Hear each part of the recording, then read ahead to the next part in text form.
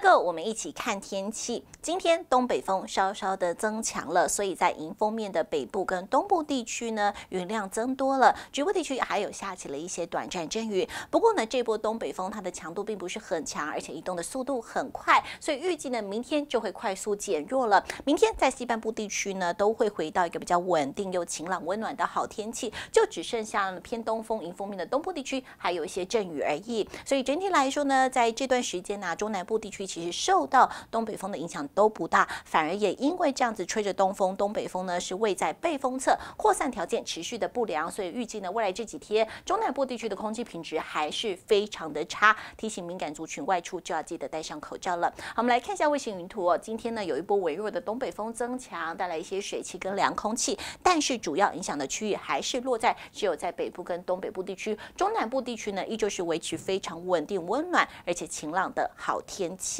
那么预计看起来，现在看起来呢，在未来这个星期呢，陆陆续续会有几波东北风增强，但是同样的都只有影响北部跟东北部地区哦，中南部地区呢都是位在背风侧的，所以未来这一个礼拜呢，北部地区会有几场的降雨，但是在中南部地区会维持一贯的好天气。好天气的情况之下呢，空气品质就很容易不良了，真的特别提醒您啊，外出真的要记得戴上口罩再出门了。好，我们进一步来看一下降雨的时间点。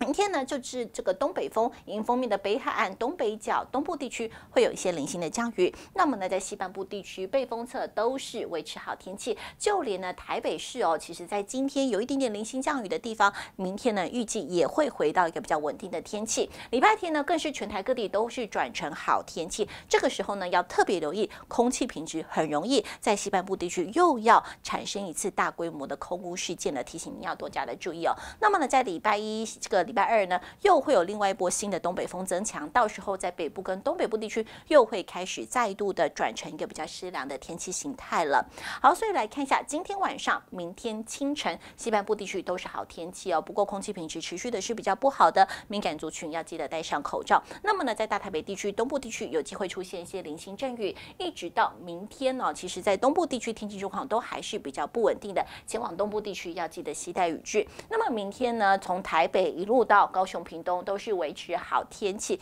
可以放心从事户外的行程。但是中南部地区空气品质持续的比较差一点点哦，所以提醒您外出活动要记得戴上口罩再出门。以上就是今天的播报，我们下次见。